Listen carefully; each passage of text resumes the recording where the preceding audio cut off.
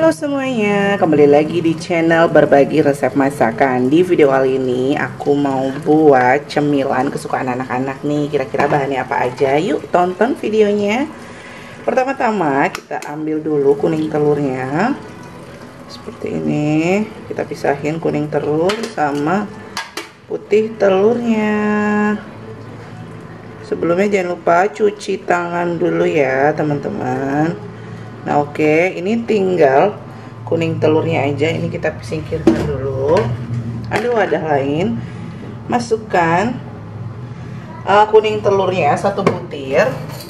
Lalu tambahkan susu kental manis.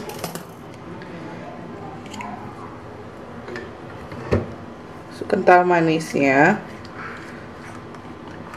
Aku pakai 2 sendok aja ya teman-teman ups ini ada apanya? Singkirin dulu. Bisa satu bungkus seperti ini 3 sendok.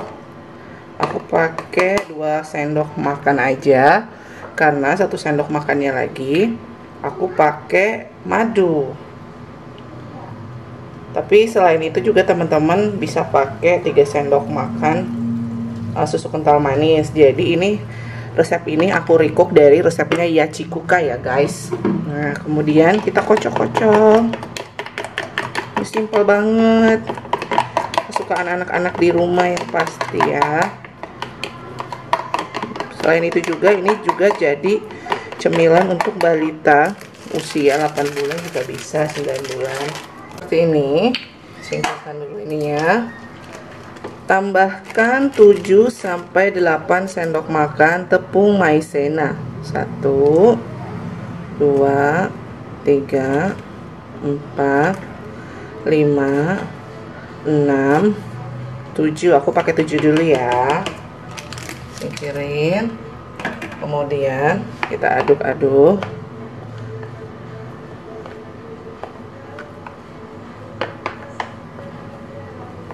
Mangkoknya harus agak besar ya teman-teman. Nah ini kita bentuk sampai dia jadi seperti adonan aduk-aduknya.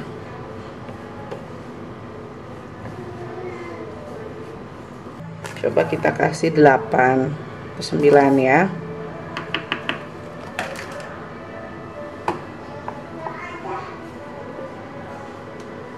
Kita aduk-aduk ini aku kasih 9 sendok ya. Oke jadi.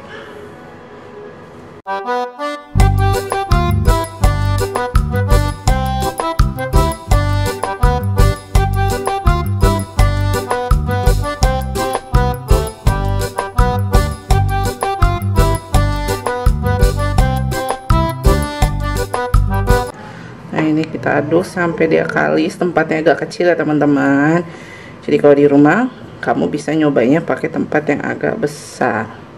Kita ambil sedikit terus bulat-bulat seperti ini.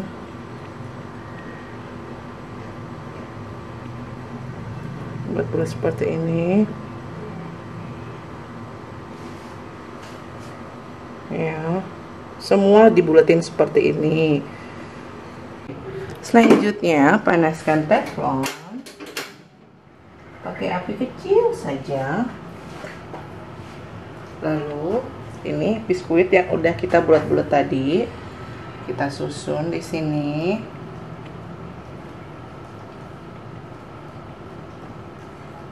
Oke susun-susun ya teman-teman. Agak rapi. Ini sebelumnya udah aku buat panggang juga. Biskuit ini udah aku aku panggang jadi masih ada bekasnya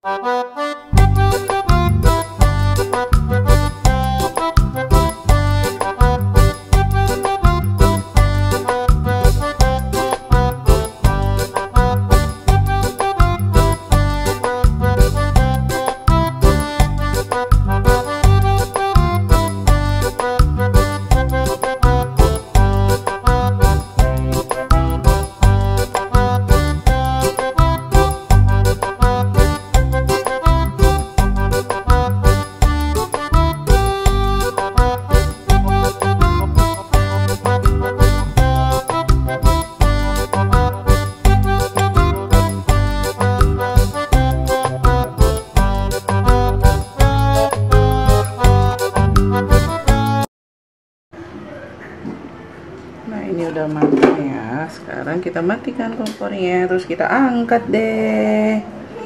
Nah seperti ini dia biskuitnya. Biskuit tamago homemade. Nah sampai di sini dulu resep dari berbagai resep masakan. Jangan lupa untuk mencoba ya guys. Ini selain untuk anak-anak di atas usia satu tahun juga bisa untuk usia 9 bulan daripada beli mendingan bikin aja di rumah. Sampai di sini dulu ya. Jangan lupa untuk subscribe like dan komen. Sampai jumpa